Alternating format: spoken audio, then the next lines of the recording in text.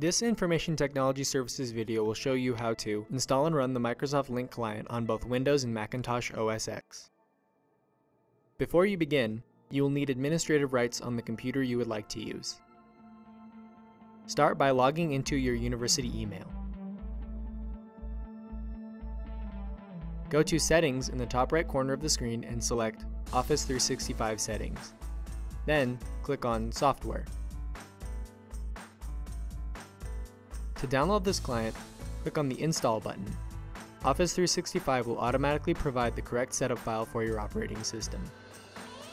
Wait for the download to finish and then double click on the setup file or click on Run to start the installation. After Lync is installed, activate the software using your U of I email address. You may need to agree to the terms of service before using Lync for the first time.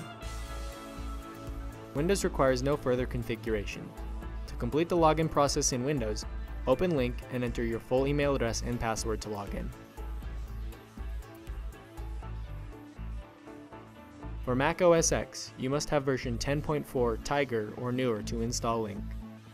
To run Lync, search for Lync in the Spotlight.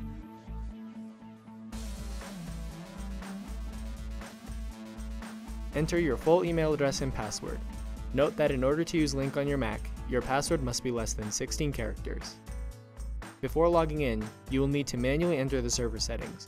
Click on the Advanced option and set the internal and external servers to sipdir.online.lync.com colon 443.